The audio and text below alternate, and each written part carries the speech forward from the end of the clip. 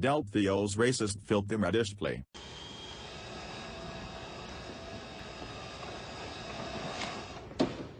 How about new?